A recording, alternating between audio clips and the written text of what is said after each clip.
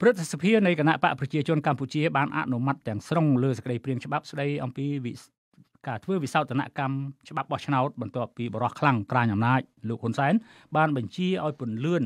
ការអនុម័តវិសោធនកម្មច្បាប់បោះឆ្នោតដើម្បីបិទផ្លូវបកប្រឆាំងការសម្រេចនេះគឺបន្ទាប់ពី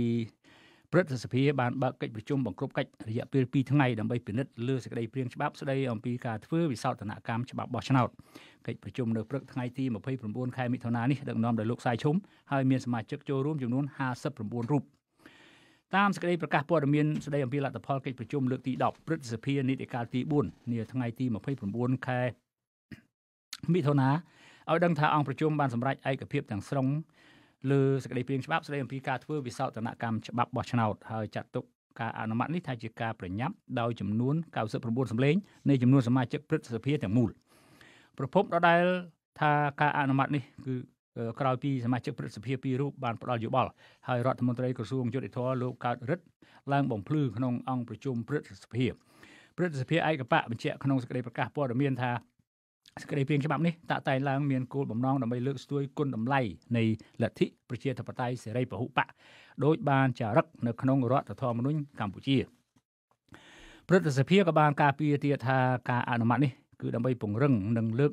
កម្ពស់ដំណើរការប្រជាធិបតេយ្យនៅកម្ពុជាជាពិសេសដើម្បីឲ្យអនាគតអ្នកដឹកនាំនយោបាយដែលមានបំណងចង់ចូលឈ្មោះឲ្យគេបោះឆ្នោតតាមបែបប្រជាធិបតេយ្យសេរីពហុបក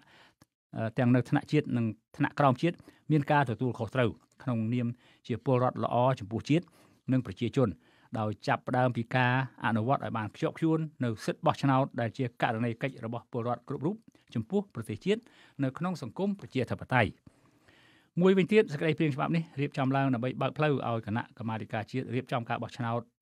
កោជបរៀបចំចាត់ចែងនិងគ្រប់គ្រងដំណើរការបោះឆ្នោតជ្រើសតាំងតំណាងរាស្ត្រការបោះឆ្នោត ជ្រើសរើសក្រុមប្រឹក្សាឃុំសង្កាត់ការបោះឆ្នោតជ្រើសតាំងសមាជិកព្រឹទ្ធសភានិងការបោះឆ្នោតជ្រើសរើសក្រុមប្រឹក្សារាជធានីក្រុមប្រឹក្សាខេត្តក្រុមប្រឹក្សាក្រុងក្រុមប្រឹក្សាស្រុកក្រុមប្រឹក្សាខណ្ឌក្រោមហេតុផលថាដើម្បីពង្រឹងដំណើរការនៃការអនុវត្តលទ្ធិប្រជាធិបតេយ្យនិងពង្រឹងនីតិរដ្ឋឲ្យកាន់តែមានប្រសិទ្ធភាព និងនិរន្តរភាពការអនុម័តក្នុងព្រឹទ្ធសភាលើសេចក្តីព្រាងច្បាប់ស្តីអំពីការធ្វើវិសោធនកម្មច្បាប់បោះឆ្នោតភ្លាមៗនេះធ្វើឡើងទៅតាមបញ្ជារបស់លោកហ៊ុនសែន បរិះខ្លាំងកាន់អំណាចជិត40ឆ្នាំនៅប្រទេសកម្ពុជាលោកហ៊ុនសែនបញ្ជាឲ្យស្ថាប័នពាក់ព័ន្ធធ្វើវិសោធនកម្មច្បាប់បោះឆ្នោតនេះដើម្បីបិទផ្លូវថ្នាក់ដឹកនាំនិងសកម្មជនបកប្រឆាំងជាមួយរឿងនេះគណៈបកភ្លើងទៀនដែលត្រូវគណៈ កម្មាធិការជាតិរៀបចំការបោះឆ្នោតមិនអនុញ្ញាតឲ្យចូលរួមបោះឆ្នោតនៅខែកក្កដាខាងមុខក៏បានចេញសេចក្តីថ្លែងការណ៍មួយកាលពីថ្ងៃទី27ខែមិថុនាដោយស្នើសុំទៅព្រឹទ្ធសភាពិចារណាលើការអនុម័តសេចក្តីព្រាងច្បាប់ស្តីពីការធ្វើវិសោធនកម្មច្បាប់បោះឆ្នោតនេះចំណែកឯអង្គការក្រៅរដ្ឋាភិបាលជាង20ស្ថាប័នក៏បានស្នើទៅព្រឹទ្ធសភានិងក្រុមប្រឹក្សាធម្មនុញ្ញឲ្យពន្យាពេលធ្វើវិសោធនកម្មច្បាប់បោះឆ្នោតដែលរដ្ឋសភាឯកបៈបានអនុម័តកាលពីពេលថ្មីៗនេះ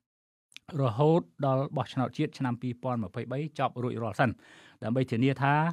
សេចក្តីព្រាងច្បាប់នេះនឹងមិនប៉ះពាល់ដល់ប្រជាធិបតេយ្យសេរីភាពនៃការបញ្ចេញមតិសេរីសិទ្ធិបោះឆ្នោតនិងសិទ្ធិចូលឈ្មោះឲ្យគេបោះឆ្នោតឲ្យផងដែរបើតាមខ្លឹមសារសំខាន់នៃច្បាប់ដែលត្រូវធ្វើវិសោធនកម្មនេះ